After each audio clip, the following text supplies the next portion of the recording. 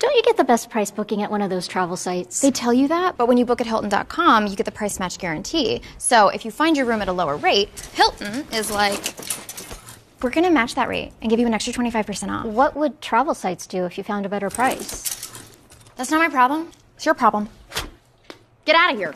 Wow, really felt that performance. It's just acting. I'm really good at it. Book at Hilton.com and get the Hilton price match guarantee. If you find a lower rate, we match it and give you 25% off that stay.